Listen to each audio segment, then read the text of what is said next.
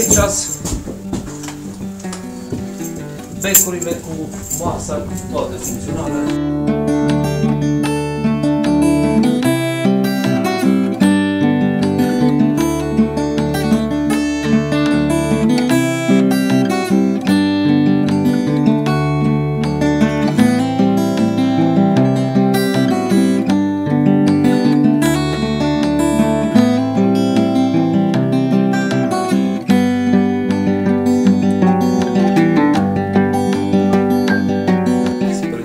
Mulțumită pentru ce față ce am făcut aici și sper să putem colabora în continuare.